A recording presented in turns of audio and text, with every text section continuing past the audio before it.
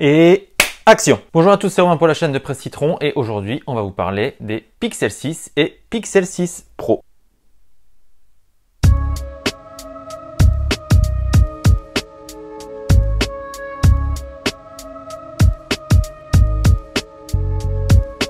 Les Pixel 6 et les Pixel 6 Pro étaient sans doute les deux smartphones les plus attendus de cette fin d'année avec les derniers iPhones. Alors en fait, toutes les rumeurs avaient plus ou moins prédit ce qu'on allait voir dans ces Pixel 6. D'ailleurs, même Google avait déjà partagé des images officielles de ces deux prochains smartphones. Ils sont maintenant officiels et c'est l'occasion pour nous de faire le point sur tout ce qu'a annoncé Google. Je vais d'abord parler des points communs entre ces deux smartphones, puis je vais aborder les quelques différences. YouTube propose ce résultat. T'es chelou toi. Et enfin, je vous donnerai les prix, les dates de disponibilité et les petits cadeaux faits par Google pendant la période de précommande. Alors je tiens à prévenir tout de suite, nous sommes sous embargo donc nous ne pouvons aborder que la fiche technique du produit et nous ferons plus tard un test complet du Pixel 6 et du Pixel 6 Pro bien évidemment. Alors le premier point commun il est évident c'est le design, les deux smartphones arborent exactement les mêmes lignes, il y a juste la taille qui change mais sinon on a bien un nouveau design avec cette fameuse barre qui renferme les capteurs photo qui est vraiment significatif de ces Pixel 6. On ne peut pas dire que Google n'est pas fait dans l'originalité, alors on aime ou on déteste. Nous, on adore ce nouveau design, d'autant que Google propose des coloris vraiment très sexy. Alors après, c'est comme tout, c'est une question de goût. Hein. Pas me saouler tout le truc celui-là. L'autre point commun, c'est bien évidemment que les deux smartphones embarquent la dernière version d'Android et ces deux modèles bénéficieront de mise à jour majeure pendant 5 ans. Évidemment, les deux versions profitent des mêmes fonctionnalités, il n'y a pas de distinction entre les deux. Tous les deux sont certifiés IP68, donc ils sont étanches à l'eau et à la poussière, et tous les deux embarquent un lecteur d'empreintes sous l'écran. S'ils n'ont pas les mêmes batteries pour des raisons évidentes de taille, Google promet que les deux smartphones ont plus ou moins la même autonomie puisque le Pixel 6 Pro a plus de capteurs et un écran plus grand, il consomme un peu plus, enfin bref, l'un dans l'autre, on se retrouve avec une autonomie plus ou moins équivalente. Google promet 24 heures, mais ça c'est un point qu'on vérifiera bien sûr lors d'un test complet. En revanche, les deux smartphones sont bien livrés tous les deux avec le même chargeur de 30 watts, donc c'est un chargeur rapide. Google promet là encore le même temps de charge pour les premiers 50%, donc environ 30 minutes pour faire le 1 à 50%. Là encore, on vérifiera. Et enfin, les Pixel 6 et 6 Pro sont tous les deux compatibles avec la recharge sans fil, rapide et la recharge inversée. Et j'ai bien entendu gardé le meilleur pour la fin. Le Pixel 6 comme le Pixel 6 Pro intègrent tous les deux le tout nouveau processeur maison de Google. C'est une première chez Google. Il s'appelle le Google Tensor. Il s'accompagne de la puce Titan M2 qui est une nouvelle puce qui assure la sécurité des données. Là, Google promet une amélioration des performances de l'ordre de 80% par rapport au Pixel 5.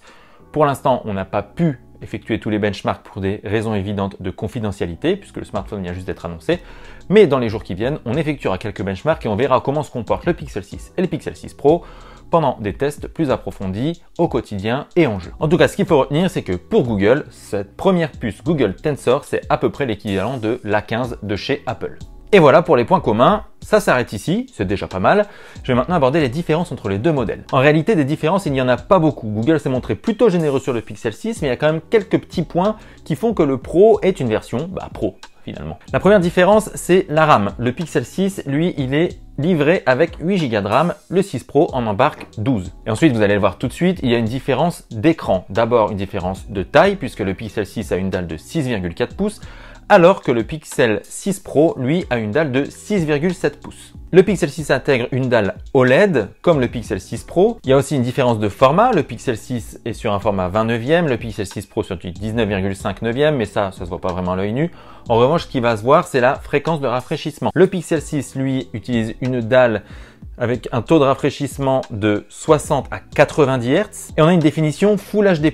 Sur le Pixel 6 Pro, on a une dalle LTPO qui va permettre en fait de profiter d'une variation de la fréquence entre 10 et 120 Hz tout en économisant l'énergie. Et on a ici, pour la version Pro, une définition QHD+.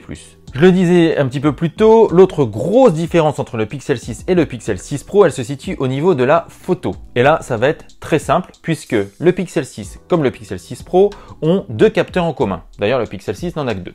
Donc dans le Pixel 6, on a un capteur principal de 50 mégapixels et un capteur principal de 12 mégapixels. Le premier s'accompagne d'un objectif grand angle, le second d'un ultra grand angle. On a donc le même matériel aussi pour le Pixel 6 Pro, mais ce dernier, lui, va intégrer un troisième capteur qui est un capteur de 48 mégapixels et qui s'accompagne d'un téléobjectif capable d'effectuer des zooms optiques jusqu'à 4x. Et pour le zoom numérique, on peut monter jusqu'à 20x. Il y a une autre différence matérielle au niveau de la photographie, c'est au niveau du capteur frontal. Le Pixel 6 a un capteur de 8 mégapixels, le Pixel 6 Pro, lui, a un capteur de 11,1 mégapixels. Il y a aussi une autre différence à ce niveau. Le premier peut capturer des vidéos jusqu'en Full HD, le second jusqu'en 4K à 30 images par seconde. Malgré ces différences matérielles, les deux modèles vont bénéficier des nouvelles fonctionnalités photo.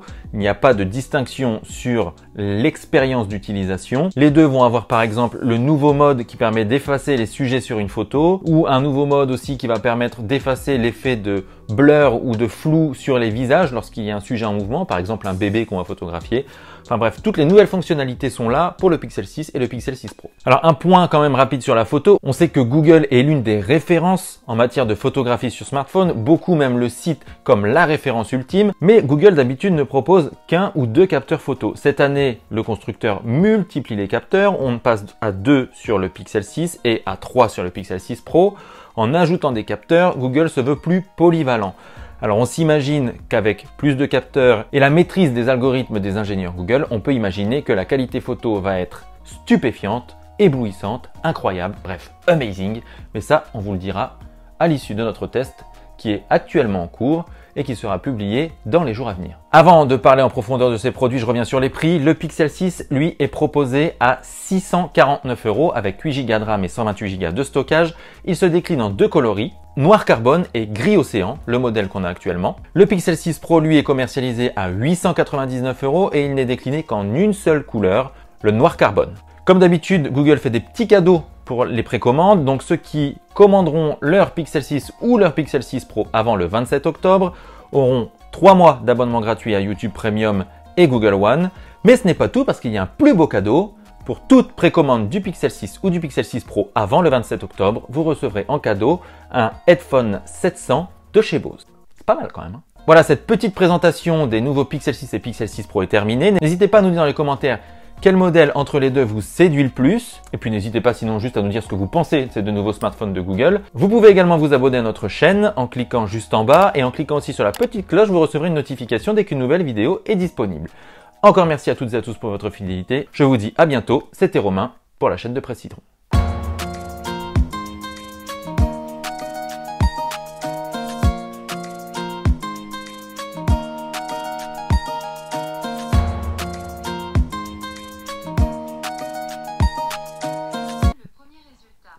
Arrête